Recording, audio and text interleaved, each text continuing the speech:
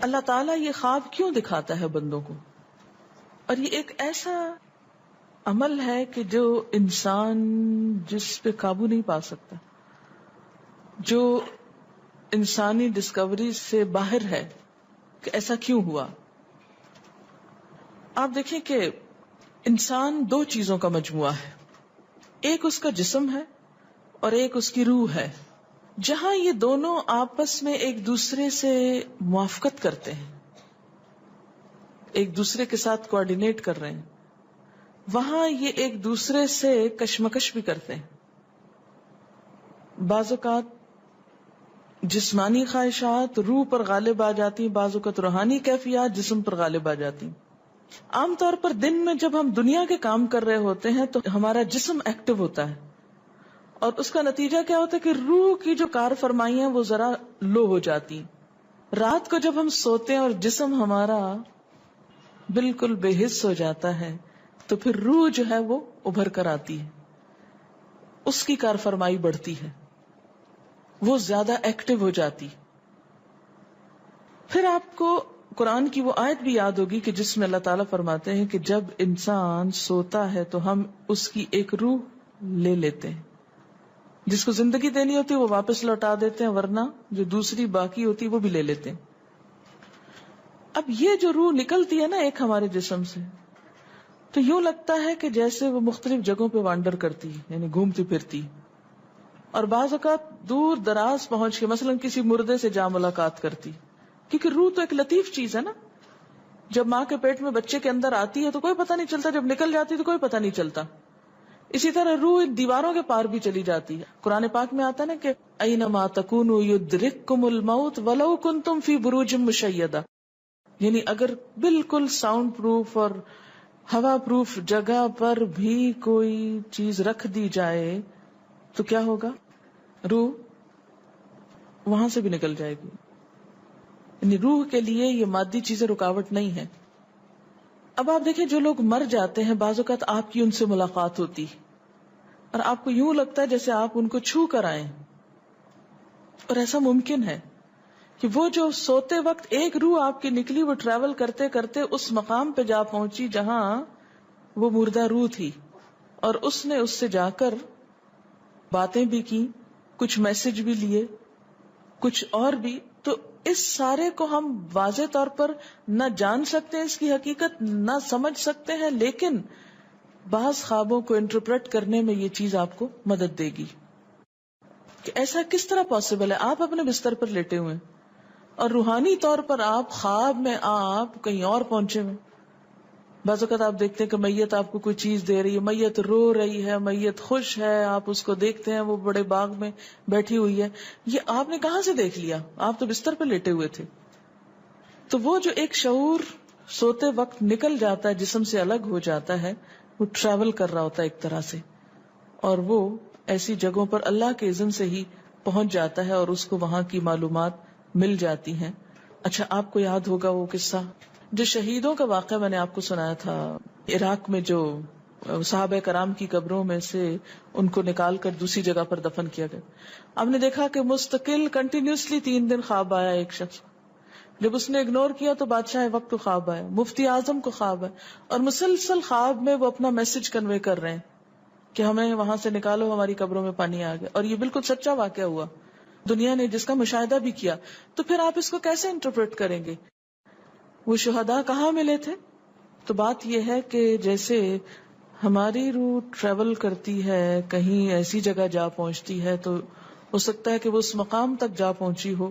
یہ شہیدوں کی روح تو آزاد ہوتی ہے، ان کو اجازت مل گئی ہو کہ وہ ان لوگوں کی روح سے جا ملے کیونکہ سجین قید خانے میں تو ہوتی ہے نا، وہ روح جس کو مجرم روح جو ہوتی۔ لیکن جو مومن کی روح ہے خاص طور پہ شہدا کی روح ہے، تو جنت میں کیا کر رہی ہوتی؟ ہے گھوم پھر رہی ہوتی، کھا پی رہی ہوتی۔ تو یہ بالکل ایک سچ ہے اور حقیقت ہے کہ بسا اوقات انسان خواب میں ایسے لوگوں سے ملاقات کر کے ان کے حالات کو جان لیتا ہے کہ ان پہ کیا گزر رہی۔ مثلا ان کو عذاب ہو رہا ہے۔ یہ عام بات ہے نا کہ میت کو جس حال میں دیکھو اسی حال میں ہوتی ہے۔ یعنی اگر خواب میں دیکھیں، کسی نے اپنے والدین کو دیکھا کہ وہ بہت رو رہے ہیں فوت ہونے کے بعد، تو کیا کرنا چاہیے؟ ان کی طرف سے صدقہ، دعا کرنی چاہیے۔ یہ بھی اللہ کی ایک رحمت ہوتی ہے کہ ان کو موقع دے دیا جاتا ہے کہ وہ اپنا میسج کنوے کر دیں ایک طرح سے۔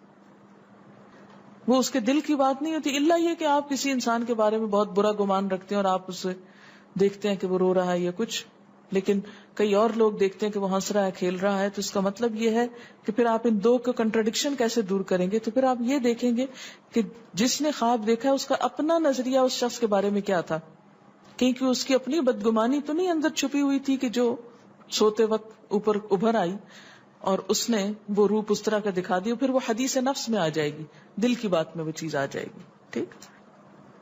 تو نبوت کا جیسے انبیاء علیہ السلام کو کچھ غیب کی خبریں دے دی جاتی تھی، اسی طرح عام انسانوں کو خواب کے ذریعے کچھ غیب کی خبریں دے دی جاتی ہیں، لیکن کسی بھی خواب کے سچا ہونے کی آپ کوئی دلیل نہیں رکھتے ایس سچ واضح بات یہ نہیں کہہ سکتے کہ میں نے جو خواب دیکھا وہ بالکل سچ ہو جائے گا، یہ آپ دعویٰ نہیں کر سکتے۔ نبوت کا تو دعویٰ کیا جا سکتا ہے، لیکن آپ اپنے خواب کا دعویٰ نہیں کر سکتے۔ کہ میں نے جو دیکھا ہے وہ بالکل سچ دیکھا۔ ہو سکتا ہے آپ کو شیطان نے ڈرایا ہو۔ ہو سکتا ہے کہ آپ کے اپنے دل کی سوچیں اور خیالات اس میں آ رہے ہوں۔ اور خصوصاً اس وقت جب دو متضاد آپ کو خبریں ملے مثلا ایک شخص آپ کے پاس آتا ہے، وہ کہتا ہے کہ میں نے آپ کے بارے میں بہت اچھا خواب دیکھا۔ دوسرا آتا ہے، کہتا ہے کہ میں نے آپ کو اچھے حال میں نہیں دیکھا۔ اب یہ فرق کس چیز کا ہو گیا؟ اس کے اپنے گمان کا فرق ہے۔ ایک آپ کے بارے میں گمان اچھا رکھتا ہے، وہ آپ کو اچھا دیکھنا چاہتا ہے، لہذا وہ آپ کو اچھا دیکھ رہا ہے۔ اور دوسرا، آپ سے حسد رکھتا ہے اور وہ آپ کو ہر قیمت پہ ختم ہوتے دیکھنا چاہتا ہے، وہ ویسے تو مار نہیں سکتا، آپ کو لہذا خواب میں مار لیتا ہے۔ اور خواب میں آپ کا حال برا دیکھ لیتا ہے۔ تو وہ خواب دراصل کیا ہوتا ہے؟ اس کی اپنے نفس کی بات ہوتی ہے۔ اسی طرح بعض لوگ جو جھوٹ سے بچتے ہیں، دھوکے سے بچتے ہیں، جن کے اندر منافقت نہیں ہوتی، جن کے دل بالکل صاف ہوتے ہیں ان کو بھی بعض اوقات ایسے خواب آتے ہیں کہ جو بالکل واضح حقیقت ایک طرح سے نظر آ جاتی۔ لیکن کوئی شخص یہ خود سے دعویٰ نہیں کر سکتا کہ جو میں نے دیکھا ہے وہ میرے دل کی بات نہیں اور وہ بالکل بڑی سچائی ہے جب تک کہ وہ چیز عمل سامنے نہ آ جائے۔ آپ صلی اللہ علیہ وسلم نے فرمایا اچھا خواب اللہ کی طرف سے ہے اور برا شیطان کی طرف سے۔